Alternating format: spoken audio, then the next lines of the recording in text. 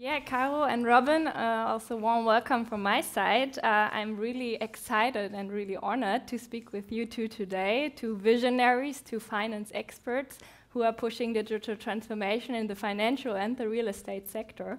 So uh, before we jump into our discussion and uh, find out more about how these two sectors actually belong together, and maybe to rise the suspense even a little bit more, I would like you both to tell us first a bit about FinLeap and Engel and Völkers Capital. So, uh, Caro, uh, I think everyone knows FinLeap here, probably. Um, but uh, what is the, what are the current developments, and um, especially what is FinLeap's secret? How you actually managed to build such a large and innovative fintech ecosystem? So first of all, thanks for having us. Uh, it's really exciting to be here. Uh, and I must say a big compliment to all the organizers to bring this conference together. I think this is a well done job. I really enjoy being here. so, um, yes, to you. Um, the, the, secret sauce of FinLeap. Um, I mean, when, when you look at us, it's always hard to describe what we really are. Uh, started five years ago as a company builder in the financial services sector have now 16 companies in the portfolio.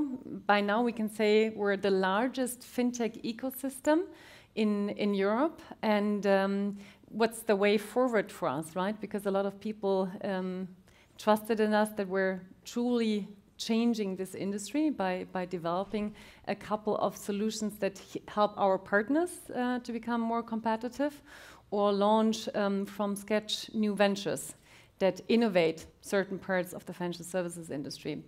So the way forward is to exactly stick to that strategy because it's successful. Um, and uh, we will build further ventures with a focus in Europe. And um, we, we do everything to grow our existing portfolio um, because, as you all know, especially the ones in this industry, fintech is kind of a marathon industry it takes some time, especially for the, for the platforms, um, to, to develop them um, uh, to significant revenue and, and size. Um, internationalization is something uh, that is this is on the map uh, for this year. We have an office in Milan with 25 people doing business for the portfolio, but actually building ventures as well. And uh, we're looking into different other markets. We have someone for Spain and soon someone for France. So this, this is exciting times for us. Um, what's the secret sauce? I think it's the it's the true combination of, of the competencies that we bring together. I'm going to speak about that in a minute as well, um, which is this entrepreneurial attitude, right? So 60% of all FinLeap people, um, FinLeap in the portfolio are entrepreneurs coming from all sorts of industries. You have the true industry experts that really understand the markets, regulations, what's going on, and uh, the technology know-how is really key and becomes even more important in these days to really make a difference. So this is something that, that, that truly is the signature of FinLeap and always will be um, and and a certain a certain culture um, that that drives us, right? That so when when we look at the FinLeap values, so just the whole diversity is important to us. We have 46 different nationalities in the team. That's really important for us.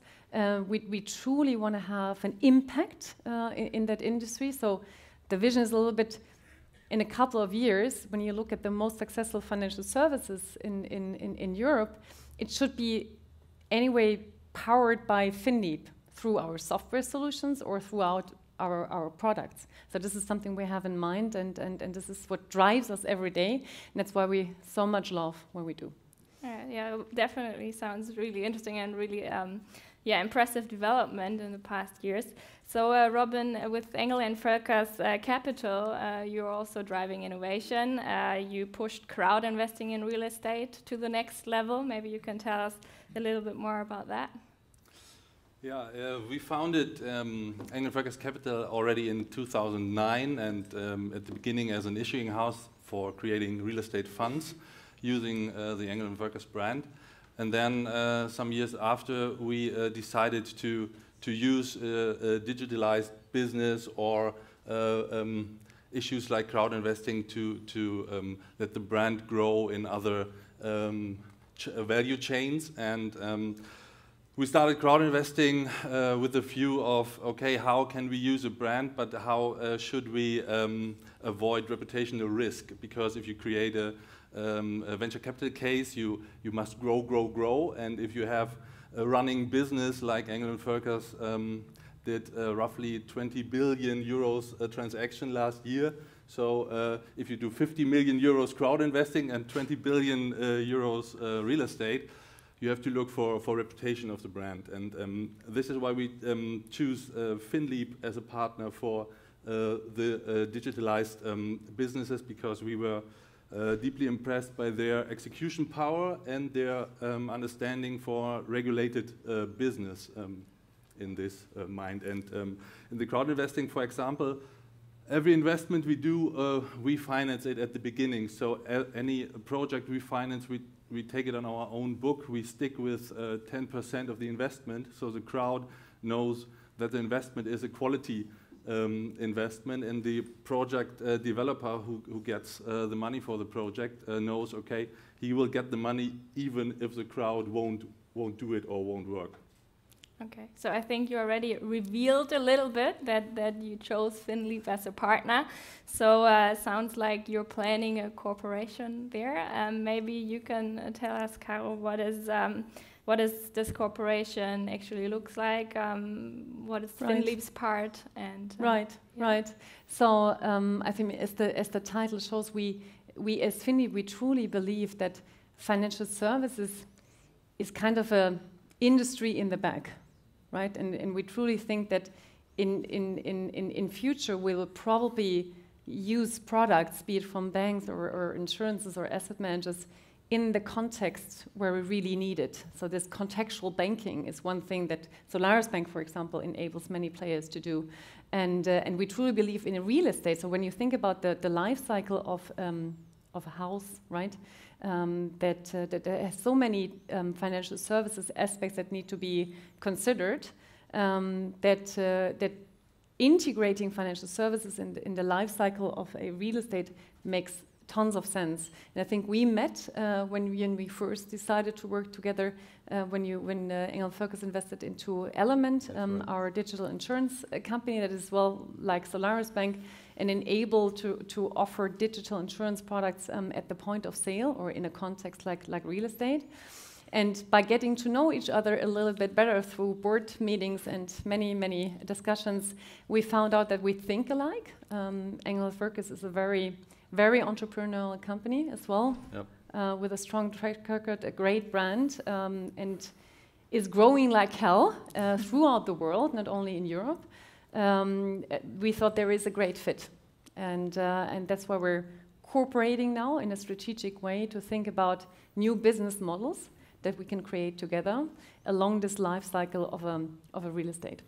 And if you look at, at Element, the first uh, investment we did uh, was like we just uh, uh, took a closer look to a real estate transaction. And if you sell a house or if you buy a property or whatever, you have always uh, one transaction point where you have to leave one property perhaps, or if you if you wait for to to get um, the new property, and so you have um, always unsecured transaction points where you could perfect fit in an insurance product, uh, which ob obviously not Engel Völkers would deliver, but where you can use uh, a digital um, product or a brand to, to fit in to get, as an example, guaranteed uh, Wi-Fi in your new um, apartment or whatever.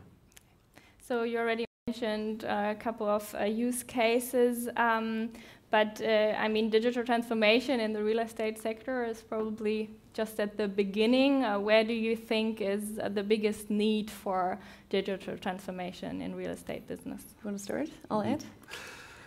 Yeah, from my point of view, there are there are two, or at minimum two, two major issues. One uh, one thing is information. Uh, um, gaining and get uh, uh, transparent information. Um, as an example, we do a lot of asset management, and if you, um, if you, um, as an asset manager, um, do an investment and, and buy a new um, apartment building, as an example, then um, today somebody will run through all these flats uh, with a clipboard and uh, ah, okay, there is a, a, a, a um, mark at, at the door or whatever, and uh, the next person takes this flipboard like, okay, in which apartment, at what door? So obviously there's a lot of transport of information, which which could be very very um, much better, and um, all the payment issues we see. So if you buy a house on Majorca, as an example, you have to just send your money to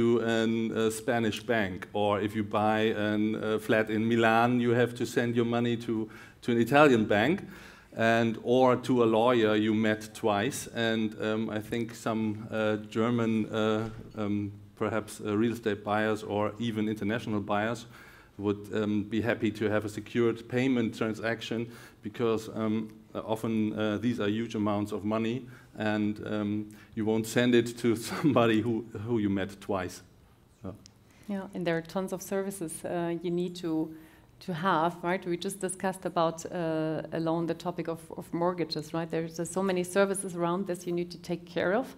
Um, why can't you have it all in one place uh, that fit neatly together and reuse the documents all the time instead of sending it uh, across to people you don't know and you maybe don't know if you can trust them uh, because there's a lot of personal information you you provide uh, to these financing banks, the real estate agents, and so forth. So this is this is an interesting question. Um, I think we we discussed as well around the, the life cycle of a real estate. So um, I think there was a um, couple of, of, weeks ago a nice article in Spiegel that we typically, when you choose a house, we don't look at that uh, in a detail like when we choose the kitchen for the house. So this the life cycle costs attached to a house, and I bought one five years ago here in Berlin, and I truly can say the life cycle costs of a house are a lot higher than you typically would expect. I'm a banker, so this is something to understand that, yeah. right, and compare it with renting versus buying and what this actually would cost you over life cycle and how much you would need to earn to be able to finance it and some scenario analysis about what this thing needs to be worth in a couple of years to justify all these investments. Yeah. These are all things that, that you should know um, no matter if you're like a, a, like a professional investor in real estate, yeah. more unlike an institutional investor, or especially a private investor um, that uh, where you rent out or you use it for yourself. So um, there, there are plenty of things you, you can combine that are, and I think this is a difference now um, that, that, that we want to achieve. So always thought from the customer perspective. So not so much from a bank's perspective that wants to sell more mortgages or the real estate agent that wants to sell more houses. You need to come from the customer perspective and then spin this whole life cycle around a house, a flat for this person in a way so that you can, from the tonality, understand, right, and get recommendations how to cover, how to do the transactions, how to do the payment, how to do the financing, and all the services attached yeah. to it. And brokerage business today is very old-fashioned. Like um, you have um, many multi-locational um, uh, living uh, uh, scenes, or where you just won't buy, or, or, or uh, where you won't keep the house of your parents, or uh, the house of your grandparents, or whatever. So uh, there is a transformation going on in this old business as well. And we will just take a closer look to the brokerage business, how we can use the transaction numbers we do there, use the information we get, and how we could fit some digital satellites around it to, to um, gain more out of the value chain. Okay, well, I can definitely see why this cooperation makes a lot of sense. And I think you got everyone in this room here really curious now to find out a little bit more. And so maybe you can tell us um, what are you going to do? What are your next steps uh, in the next uh, month? Maybe what can we expect to read in the news? Yeah, I mean, what I think, it, it, it, as you said, I think that the reason why we're why we're working together because we bring the, the like our domain expertise together, right? Yeah. So we as FinLeap, we can't say we're real estate experts you are and the whole team is, right? On the other hand, when you look into new business models, it's not your first thinking about having this design thinking approach, thinking about the customer pain points first and deriving to innovative solutions. So these two sides are now brought together. So we're in the middle of it, uh, evaluating different ideas. So ideation process, testing it with customers, and see with what we want to launch. I think we described a little bit the vision, yeah. how it can look like. The question is, how do you actually start? What to offer first, right? To make the customer curious, to engage, to come back, to use the next service with you, to create that trust so that you get the data.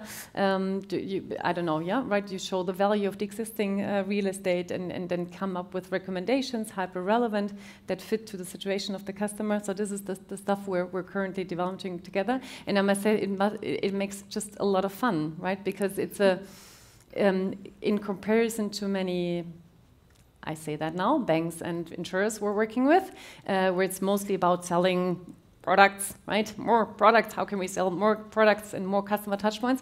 Here it's really about something that is emotionally driven, mm -hmm. right? Because when you look into your account and see the categorization of your expenditure, if you use these wonderful PFMs, right, that everyone's selling, um, then you see that the largest amount you're spending is typically the flat or the house you're owning. So where we actually don't really take care of it in a, in a good way. So this is something that makes a lot of fun and the customers we talk to find it highly relevant. And so now it's about how do we actually go into that market. We have a couple of deals. Uh, you, you mentioned the payment. Um, there, there are plenty of things in the FinLeap portfolio that we can right away use. I mean, this is another, another good reason maybe why we, where we work together. We don't have to build everything from scratch again, right? So we have we have a bank that can offer us accounts or or, or cards and, and, and, loans. We have an insurance um, where we can we, we, we have a couple of products that we can right away use or even tailor to a specific target group. Um, I mean, Engel Völkers, as you all know, um, they have great real estate in their portfolio. Not all of us can afford it. People might have really luxurious things in those houses, so you, you need to make sure that they are protected. So yeah. to come up with a very exclusive insurance product that is especially targeted to that audience, these are all ideas we're currently uh, we're currently discussing and, and seeing with what we're gonna we're gonna launch. So stay tuned yes. on that one. and you have some some regulatory issues from.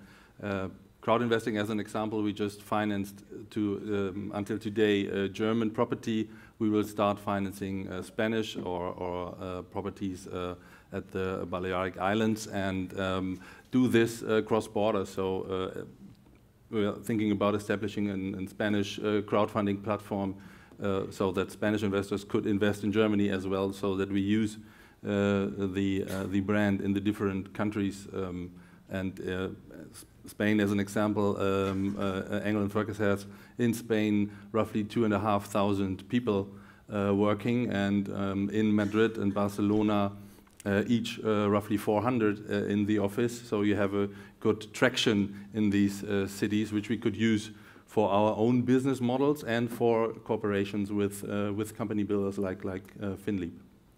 Right, definitely sounds really interesting.